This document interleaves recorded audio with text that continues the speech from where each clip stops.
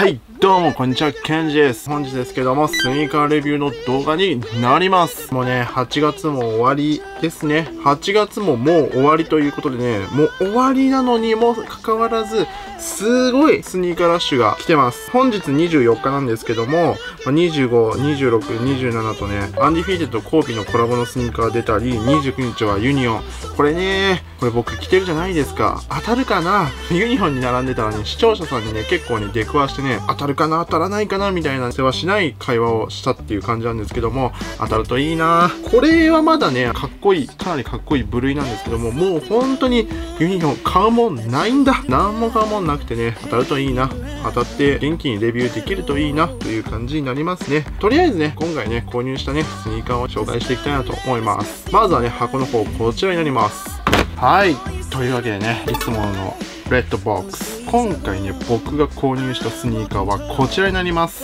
じゃんナイキダンクロー3番になります。はい、サンバ。こちら購入いたしました。なんでね、サンバっていうのがちょっとわからないんですけども、こちらね、ナイから2001年日本限定モデルとして発売されたダンクローサンバ。というかね、こちらね、こちらのモデルの復刻になります。これもカレッジカラーの一つのやつらしいんですけども、これね、日本限定ではないとは思うんですけども、今回、エンドとかでも確か販売されてたと思うんですけども、おそらく日本の方がかなり数が多い一足になると思います。だからね、これも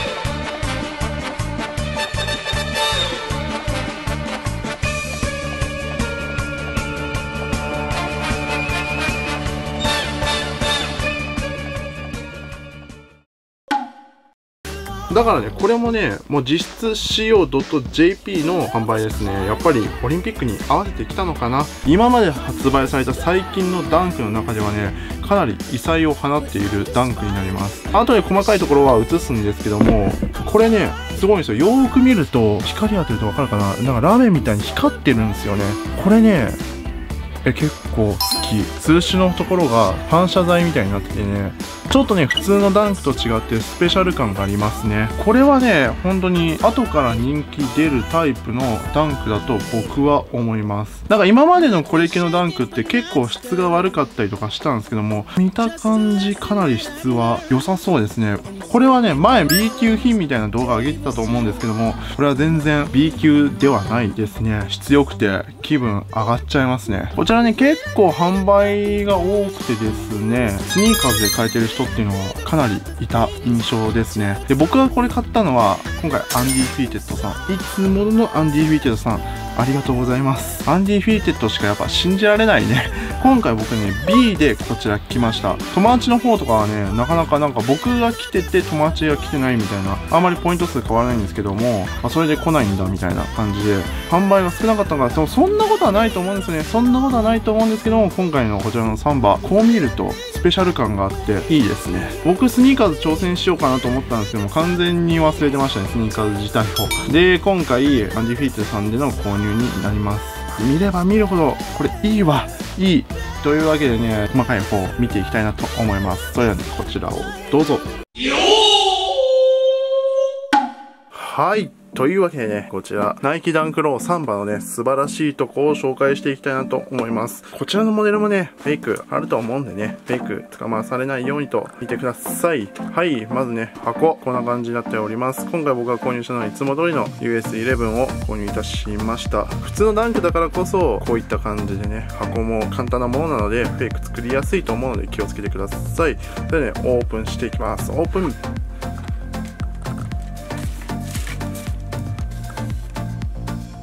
はいこういった感じになります。なんかね小さいベビーサイズの方もあるそうなんですけども今回僕が購入したのはこちらのでかいサイズオンリーです。細かいディテールの方を見ていきたいなと思いますけどもまずねアッパーの部分なんですけどここのねパーツ部分なんですけどすごい何て言うんだろうな上品なグレーですね。僕持ってないんですけどもエアディオールを彷彿させるような感じのグレーで塔の部分と真ん中の部分もよーく見るとね赤いラメみたいに入ってるんです紫ベースの赤いラメみたいのが入ってます。すごいね。これキラキラしててかっこいいっす。ねでここの数種の部分なんですけども見てください。なんかね反射材が使われてるのかな？ちょっとよくわからないんですけどもこうやって光にね浮き出る感じのデザインとなっておりましてこれ今までのダンクであまりなかったのでこれちょっと素晴らしいなと思いました。今までのカレッジシリーズの中ではこういったギミックはなかったので驚きましたね。写真でも見た時はあこんな感じになってるのかなと思ったんですけども想像以上に視覚的にも分かりやすいので結構他のダンクとは大きくここは違うんじゃないかなと思います。ヒールの部分はこういった感じなんですけど皆さんこのお尻を見て何か一つ気づいたことがありませんか？そうなんです。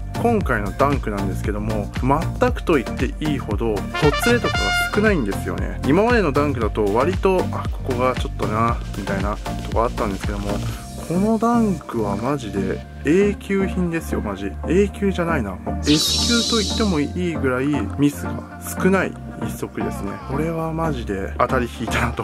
個人的に思います。ミッドソールの部分がホワイトとなっておりましてアウトソールの部分がこちらの赤ですね。なんかねこれガンダムとも写真がコラボしててねそういった部分でも CO.jp なのかなとちょっと思いましたね。でこちらの終端の部分がねネイビーの色となっておりまして中のインソールもネイビーで統一しております。インナーの部分なんですけどもインナーはね白とグレーの間みたいな感じの配色なんですけどもこのネイビーがマジでいいかっこいい。パッと見た感じなんか日本のオタク文化を練り込んだような一足だなってちょっと思いますよね。秋葉原でなんか通じる一足かなって正直思っちゃいますね。ただそれが逆にすごいとてもいいかなって僕個人としては思います。でいつも通り黒タグですね。最近黒タグもね量産されることもあるし黒タグがないモデルとかも結構あるのであんまり参考にはならないんですけども一応黒タグで見といてください。このモデルの数足見ないとわからないんですけどこれに関してはマジで質がいいように見えるんですよね。かなり綺麗だぞっていうぐらい素晴らしい一足ですね。これ今本当に日本の相場はかなり下なんですけども、これはマジで化けると個人的には思います。皆さんこれ見てどう思いますか？これ賛否分かれる一足だと思うんですよ。やっぱり日本限定ってわけじゃないけども、ちょっとね、人気が薄い気がするんですけども、これはマジで今回は素晴らしいなと個人的にはめちゃめちゃ思います。はい、という感じになりますけど、皆さんどうすか？この一足やばくない？やばくない？一つ一つのパーツの部分がもちろん昔の2001年とかに発売された時のモデルをちゃんと意識してね思い出させるようなねパーツとかの色合いをしているんですけどもそのモデルは見たことないんだけども今あるこういうラメ状になってるとことかもこの数種のところの反射リフレクティブみたいになってる感じのところとかも古いものと新しいものを組み合わさってる感じがしてねとても僕はね素敵な一足だなと僕は正直思います。CO.jp っていうかねやっぱ日本特別にしてくれるモデルってやっぱりなんかいいよね。ナイキに愛されてる感があってとても僕はいいなと思います。これはねかなりスペシャルな一足なんで本当に大事にね後ろか横かどっちかわかんないんですけどもこちらも1軍認定と飾らせていただきたいと思います。いや本当に最近発売されたダンクの中でも僕マジでこれはいいですね。日本だとねあんまりなんか評価されてなく結構相場が低いんですけども海外では本当に結構上がってるんで多分これあと半年も3ヶ月もすればね一気に値段がパーンって跳ねると思うんでぜひね今のうちに欲しいなと思った方はね買ってみてください。という感じでね今回の動画終わりたいと思います。この動画いいと思ったり参考になったと思ったらグッドボタンのチャンネル登録の方よろしくお願いします。そんな感じで終わります。じゃあねバイバイ。